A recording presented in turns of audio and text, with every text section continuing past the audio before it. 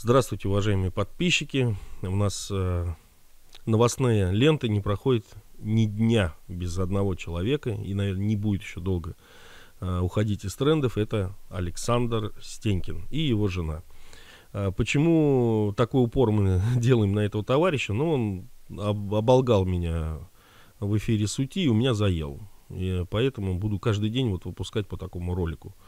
Э, с различными его похождениями. Причем э, я сначала эту мысль отвергал, но люди пишут, постоянно пишут после вчерашнего ролика, после выпуска НТВ ЧП о своих приключениях с данным гражданином. То есть на, у нас личка и в сообщество люди стучатся и рассказывают свои истории, э, как они с ним пересекались, как, ну, никак, ни у кого нет позитивного опыта с ним общения. Не буду пересказывать то, что люди пишут, потому что есть очень грязные истории. А, они как бы ну, не подтверждены, но я не думаю, что люди будут склонны врать, ну, просто так какую-то чушь писать. Но история действительно очень грязная. А сегодня мы поговорим об одной хорошей, положительной истории, которая, вернее, выше стала положительной для одного из тех людей, которые тоже обращались к нам в редакцию о деятельности Стенькина. А, вчера я частично обмолвился об этом. А, суть в чем, что у товарища Стенькина была интересная схема, а, как он пытался с людей забрать деньги под видом незаконного обогащения. Вы можете посмотреть это на суд, Балаковском районном суде, набрав там по фамилии Стенькина, вы увидите дела, которые выпадают. Но сегодня о конкретном случае. А каков конкретный случай? Пенсионер, по фамилии Дмитриев он прозвучит. Я спросил его разрешения. Он, э, сегодня мы с ним созвонились, и он разрешил опубликовать э, видео. Это видео снималось для э, НТВ, э, но поскольку федеральный канал ограничен своим эфирным временем, оно туда вошло ну, очень частично. Вот. Суть в чем?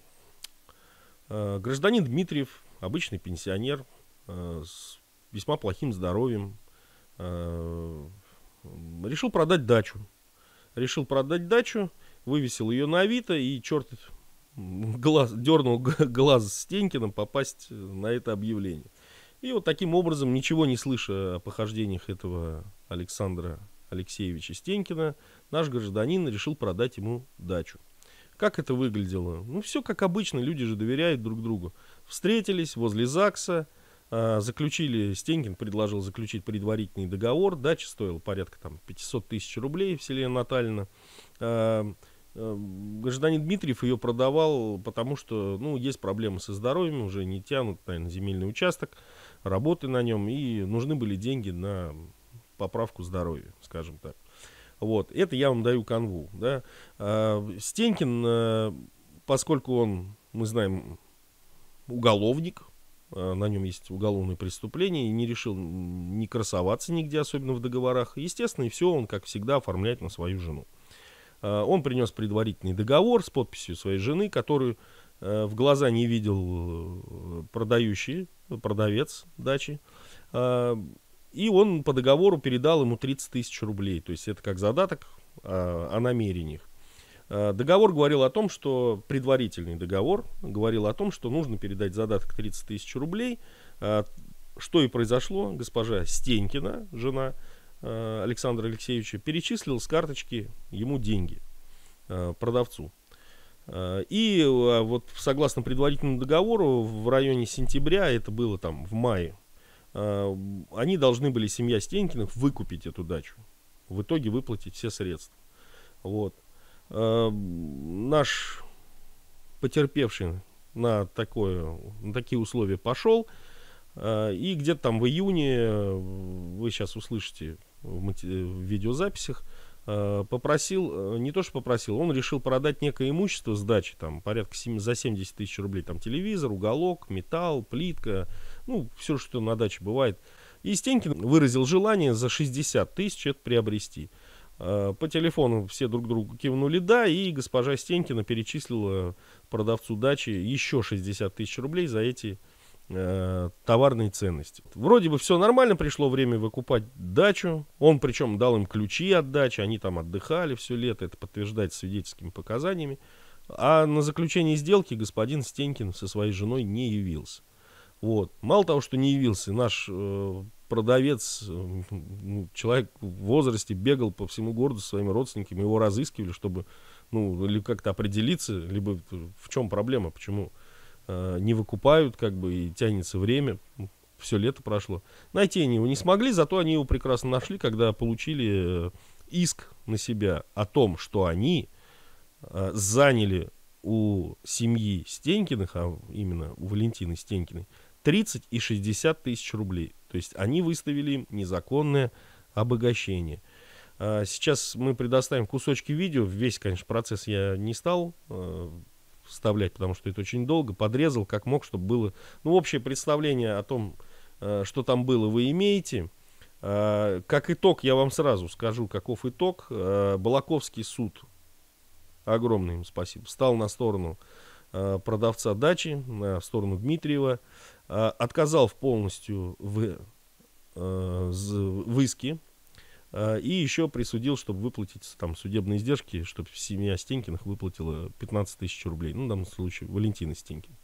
Вот. А теперь смотрим, как это было, и вот посмотрите, где правда, даже, вот не знаю, этих людей, даже отстранясь, слушая их показания, кто что говорит, как говорит адвокат э, эм, Дмитриева, что говорит господин Стенькин, почему он там был? Он выступал на стороне своей жены в виде юриста, защищал ее интересы и права. И как себя ведет э, жена Стенькина.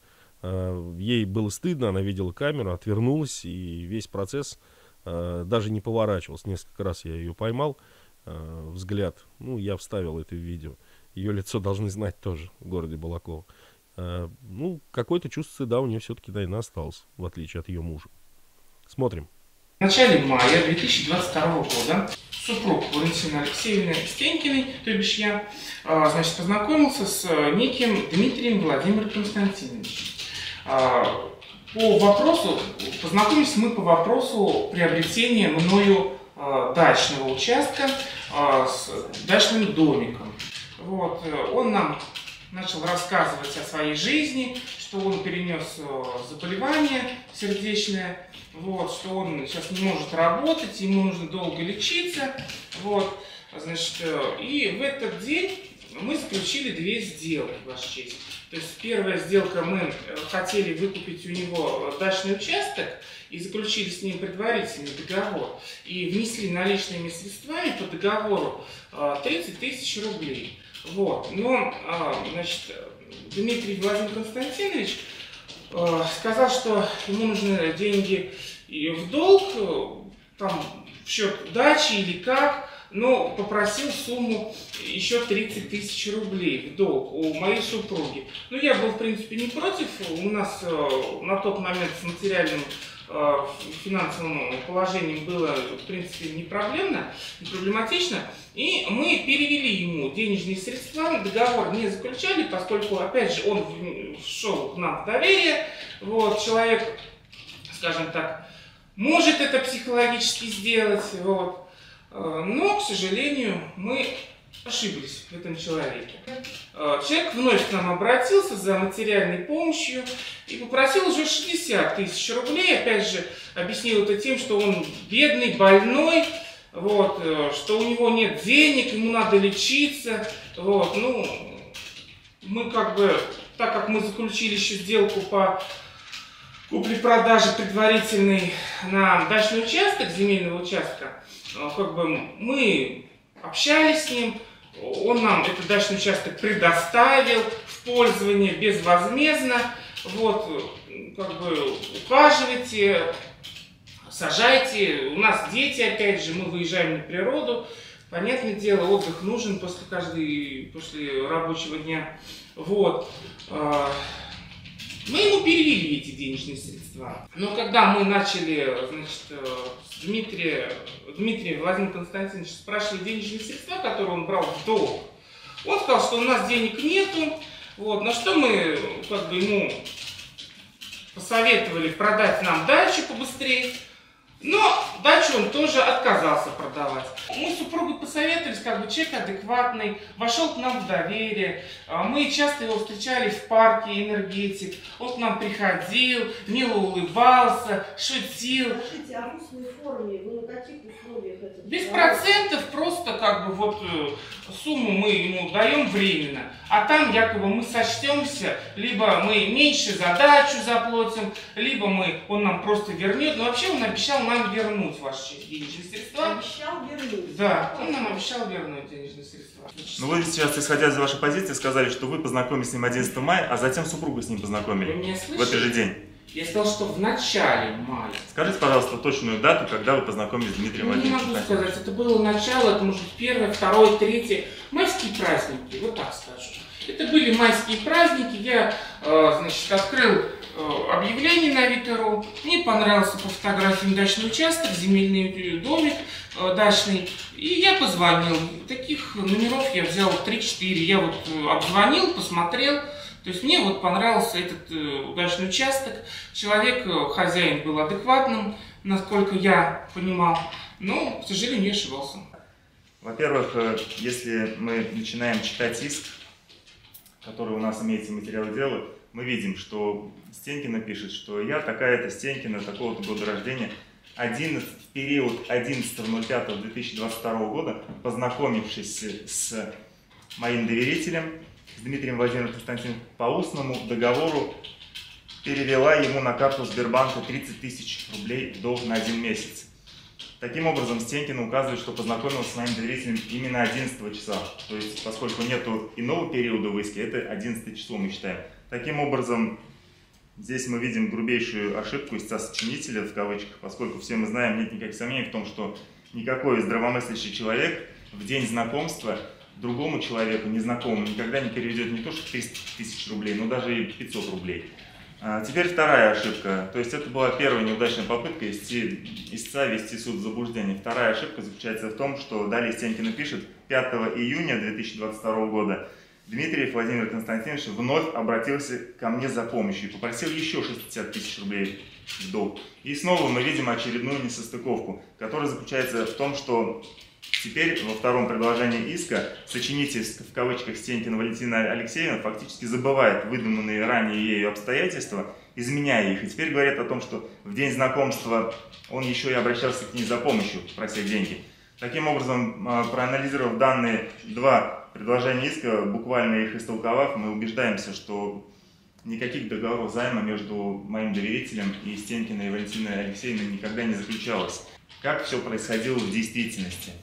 Один а, вот э, представитель истца в своих пояснениях э, упомянул о том, что был предварительный договор купли-продажи дачи. Мы полагали, что он будет это отрицать в заседании, но тем хорошо, что он это признает. Практически все переговоры, как вот у нас э, пояснил представитель истца, вел от имени своей супруги Стенкина Валентины Алексеевны, которая является истцом по настоящему делу, ее супруг Стенкин Александр Алексеевич. Это действительно соответствовало правде, потому что мой доверитель э, не встречался с Стенкиной Валентиной Алексеевной в день заключения предварительного договора. Ну, у вас честь, подпись стоит в оригиналах, то есть... Вас не спрашивают сейчас. Нет, я просто Далее, перед подписанием, вот что касаемо, уважаемый суд, сумму в 60 тысяч рублей. Э, Указание истца в иске о том, что это был займ, также является несостоятельным и не соответствует действительности. Эта сумма была стоимостью имущества, которое находилось на даче. Я инвалид, ветеран труда, имею 46 лет стажа. И вот этот человек Стенкин обвиняет меня, в том, что я влез ним в доверие и прочее. Я хочу сказать, что он при первой встрече, узнав о том, что я перенес сложную болезнь, как перенес острый инфаркт ГПК, он мне представился врачом-урологом, который работает в нашей, э, в нашей горбольнице, вот, что он находился в горячих точках, на данный момент он на пенсии, он спасает людей, и при любой моей ну, потребности он обещал мне всегда в этом помочь. Об этом могут вам подтвердить все соседи, находящиеся на даче с трех сторон, шесть человек, которым он всем тоже рассказал, что он врач-уролог, что он лечит людей, что он помогает людям. Вот. При встрече, значит, с Сенькину я видел всего два раза. Один раз я ее видел, когда они приезжали, ну, при осмотре дачи с детьми. И второй раз я их один раз видел в парке, в седьмом, потому что я гулял после, мне надо было гулять после болезни. Я их видел там, где он, товарищ Стенькин, мне высказал, что ему на работе дали вторую ставку, он будет очень много получать у него платные операции, и он будет со мной быстрее рассчитываться. В момент того, когда я не мог его найти по окончанию договора, я обратился в нашу горбольницу хирургам. Они сказали, что такого хирурга у нас даже не то, что в горбольнице, у нас даже в городе нет с такой, такой фамилией и с таким образованием на данный момент. Так что предварительно ехав ко мне и узнав, что я болею, он сразу сочинил эту сказку, что он врач, что он хирург, что он уролог, и я к нему должен обращаться, чтобы ну, он меня мог по этому делу по какому-то лечить. Так кто кого обманул? Извините меня. Расчет между продавцом будет произведен в следующем порядке. Часть стоимости вышеуказанной недвижимости в размере 30 тысяч рублей в качестве предоплаты в скобках задатка, аванса при подписании настоящего договора при подписании настоящего договора будет передано продавцу. Передано продавцу основного договора. Каким образом да, все. Вы говорите, вы прочитали договор. Значит, вы его подписали, деньги вы получили наличными при подписании договора. Хотя и договором было предусмотрено, что передаются, но договором, обратите внимание, передаются покупателям, а покупателя не было на сделке. Поэтому денежные средства были переданы именно от покупателя, но посредством безналичной транзакции. Закон не запрещает у нас расчеты, допускаются наличными, безналичными, чеками, э, аккредитивом и иными образом между физическими лицами. Поэтому данное условие было полностью выполнено, выполнено. И не могло оно быть исполнено по указанию, как это прописано в договоре. Потому что продав, покупатель на сделке не было. Об этом подтвердил сам доверитель. Он сейчас просто запутался. Подождите. Он подтверждал, что переговоры вел по договору именно Стенькин Александр Алексеевич. Валентина Алексеевна комиссия не присутствовала. Вопрос. Денежные средства 30 тысяч рублей по предварительному договору купли-продажи. Как вы передавали? Наличными а, по пятитысячной купюрой в присутствии свидетеля. Когда? Кто передавал? А, передавала Валентина Алексеевна, был я, был еще один человек. Мы гуляли с детьми, а, мы встретились в парке «Энергетик». Скажите, пожалуйста, какое, вот вы сейчас ссылаетесь на, сначала ссылаетесь на одного свидетеля, который участвовал в заключении, сейчас ссылаетесь на нескольких. Назовите, пожалуйста, конкретное лицо, которое якобы было с вами и может подтвердить, было с вами, подождите, я закончу, в парке энергетики, может подтвердить факт переговоров между моим доверителем и вашей супругой. Конечно, была Екатерина Николаевна. Фамилия? Э, ну, фамилию я не, не помню сейчас. Вот. Э, Кем она вам приходится? Никем. Это просто родитель, э, ну так скажем, на площадке, которой мы гуляем. Мы каждый раз гуляем только на одной площадке, это парк энергетика, что рядышком там живем. Вот. И, собственно говоря, гуляем, мы знаем всех родителей. Вот Денис Николаевич, то есть как бы мы их приведем, которые сидели на лавочке вместе с нами, с Владимиром Константиновичем, вот, и общались по поводу дачи. Он нам рассказывал, что это ничего ему уже не нужно. Он бедный пенсионер, э, инвалид, что у него жена больная. Вот, и ему это все ничего не нужно. Прошу прервать на вопрос уже ответить. Можно еще раз задать вопрос? Скажите, пожалуйста, назовите и прошу, уважаемый секретарь, записать этих лиц. Какие конкретно лица, по вашему мнению, присутствовали при заключении сделки в переговорах в парке энергетики, где участвовал мой доверитель и ваш супруг? Назовите фамилию и отчество. Фамилию и отчество, пожалуйста, назовите, мы запишем их. Я вам уже ответил. То есть никого не было? Было. Назовите фамилию. Фамилию я точно не помню. Я знаю ее. А потому как вы собирались заявлять? Они а, Ваше честь, мы заявляем э, на другом процессе. Сейчас мы хотим ходатайство заявить об отложении судебного заседания. Я не об этом вас спросила. Я спросила. Вы сказали, я намерен заявить ходатайство о вызове свидетелей. Да, Ваше честь, мы как с ними созвонимся, а, узнаем их... Вы не перебивайте меня, вы слушайте и дайте ответ. Как вы собирались заявлять ходатайство, не зная фамилии свидетелей? Честь, это не, не какие-то родственники. а Я не знаю только имя, отчество Скажите, данных Количество свидетелей. лиц скажите, пожалуйста, которые... В данном случае Да. 11 мая в парке энергетика было два Два человека. человека. Екатерина Николаевна и Денис. Я Да. точно фамилии их не могу знать, понимаете? Я знаю, что мы гуляем, вот мы встречаемся иногда, здороваемся. Нет, Стенькиной не было. не было. Екатерина Николаевна была. Никакой не было. Денис был. Никого вообще не было. И то, что они живут рядом, он врет, они живут на строительной, это находится в седьмом микрорайоне. Да, один раз я с ними встречался, никакого там не было. Вы по ничего месту там не было. регистрации живете? Мы живем по месту, но это рядом с нами, то есть мы на машине. Строительная рядом с парком седьмого. Но это ближе, чем жил город.